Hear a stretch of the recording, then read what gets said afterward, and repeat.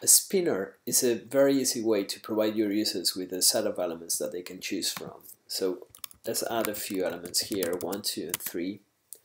And you can see that they are added to, to the phone. If I click on the spinner, it allows me to choose from the three options.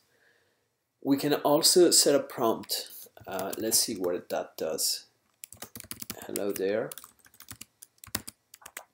Now when we launch the spinner, we see the prompt coming up in the in the screen. It's basically the title for, for the spinner.